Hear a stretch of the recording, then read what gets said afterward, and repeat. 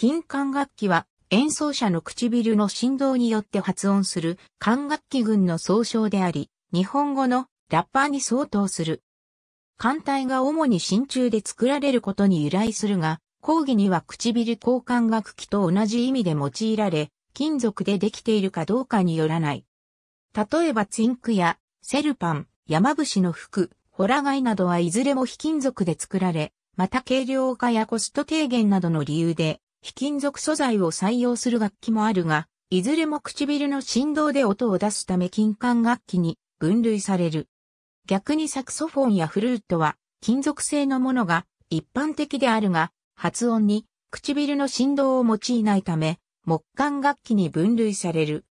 金管楽器の構造は至って単純であり、息を吹き込む、歌口と音量を増大させるための朝顔を持ち、それらは円筒、または円錐状の管で繋がれている。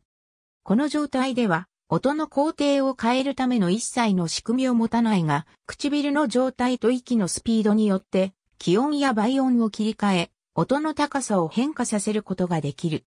しかし、管は長さと音の電波速度によって共鳴する音の高さが決まっているため、その他の倍音列に挟まれた音を出すことができない。そこで一般に管楽器では共鳴管の長さを変えることによって共鳴する音の高さを変え、様々な高さの音を得る。金管楽器でも古くは、現在の木管楽器のような管の途中に開けられた音高により、音響学的な管の長さを短くすることによって、より高い様々な音を得た。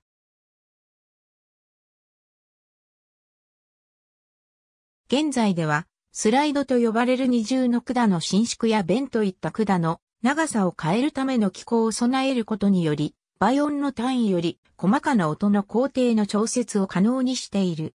振動の元は奏者の唇であり、楽器ではないという点において、金管楽器は楽器単体では楽器として完結していないと言える。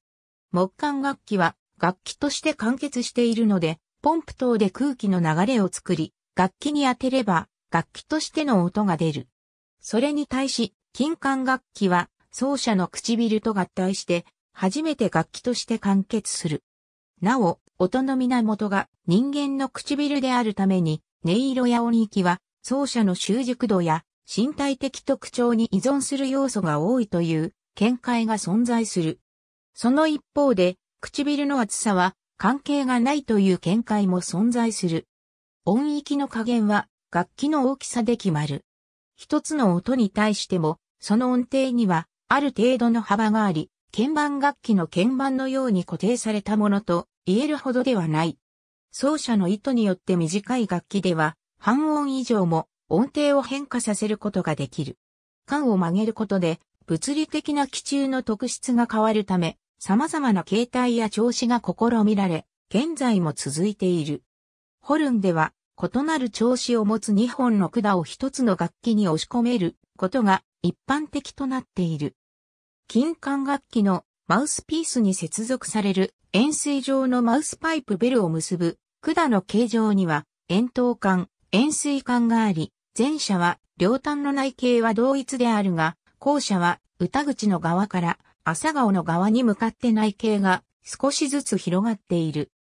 理論的にはすべてを円筒管で構成した楽器や、逆に円錐管で構成した楽器はあり得るが、実際の金管楽器はマウスピースに近い方が円筒管か円筒管に近い円錐管、ベルに近い方が円錐管というように両者が組み合わされる。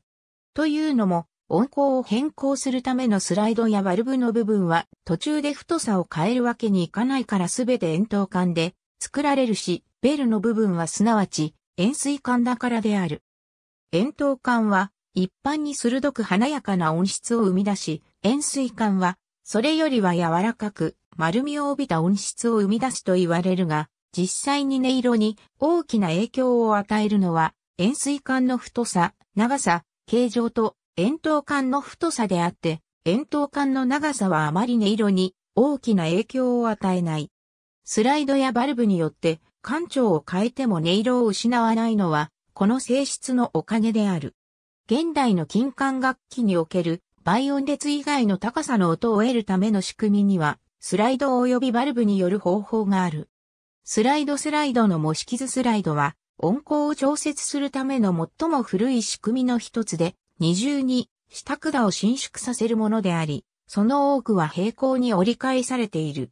一般的なトロンボーンは、この仕組みを使用し、これによって3000音下までの任意の音程を得ることができる。また、その他の金管楽器でも音程の微調整のために備え付けられることが多い。バルブ1814年にハインリッヒ・シュテルツェルが金管楽器用のバルブを発明した。その後、様々な方式のバルブが提案され、普及していった。現在では多くの金管楽器が何かしらのバルブを持ち、バルブを一つも持たないものは限定的である。三つのバルブ取り付けられるバルブの数は様々であるが、多くの金管楽器では3つを基本とし、いくつか追加される場合がある。通常右手だけで操作するが、ホルンやワグナーチューバは左手で操作する。またユーフォニウムの中には4番バルブのみ左手で操作するものがあり、チューバにもバルブがたくさんついていて、左手を使うものがある。各々のバルブは主管の途中に取り付けられ、バルブの容器には迂回管が接続されている。迂回管の選択によって空気の流れる管の長さが伸び、音程は下がる。大抵の場合は、バルブを作動させない時には、空気の流れが迂回せず直通するようになっているが、特別な場合に取り付けられる上昇バルブでは、動作がその逆である。3つ以上のバルブを持つ楽器の多くは、次のように設定されている。数字の若い方から人差し指、中指、薬指にそれぞれ対応し、これらの組み合わせにより最大で約3000音下げることができるが、複数の組み合わせによって生じる管の長さは本来よりもわずかに短い。4番バルブは2全音半下がる設定のものが多いが、ホルンでは楽器全体の調子を快感から B 管に変化させるものが一般的である。これは複数のバルブの組み合わせによって生じる誤差を小さくするためにも大切な機能である。多くの場合、トロンボーンの追加のバルブもこの4番バルブと同じ機能を持つ。ピストンバルブの模式図ロータリーバルブの模式図、コンペンセーティングシステム4つのバルブを持つ楽器は通常次のように設定されている。しかしながら4番と他のバルブの組み合わせでは運指上で考えられる音よりも音程が高くなってしまう。これは低い音になるに比例し、音を下げるために必要な干潮が徐々に長くなるためである。この解決策として、1874年にブレイクリーがユーフォニアムにコンペンセーティングシステムを導入した。これは4番ピストンに連動する補正管を各ピストンに増設することで不足分の距離を確保するものである。これにより、4番ピストンが含まれる運針には、空気が自動的に補正管を通る構造となるため、従来は正確な音程で吹奏が困難であった、ペダルトーンのすぐ上の音域を通常の運指で出すことができるようになった。このシステムによって、ユーフォニアムはピストン楽器という機動性の高さに加え、幅広い実用音域をカバーできる特性を持つ金管楽器となったのである。なお、このコンペンセーティングシステムと同じ構造を持つフレンチホルンはセミダブルホルンと呼ばれる。ユーフォニアムやチューバのカタログにもコンペンセーティングと両呼称を併記している例がある。スライドとバルブの特質スライドは無段階に任意の長さを得られ、正しい音程を演奏できる長さに調節可能である。必要であれば、平均率や純正率以外の音率での演奏も可能であり、また、バルブよりも構造が単純であるためより良い音質を得ることができるとされ、バルブよりも管の曲がりが少ないため息の抜けが良い。その反面、腕の屈伸により、スライドを伸縮操作するため、動作が大きくなり、素早い動きではバルブに及ばず、また、伸縮の距離に限界があるために、長い管を持つ楽器には不向きである。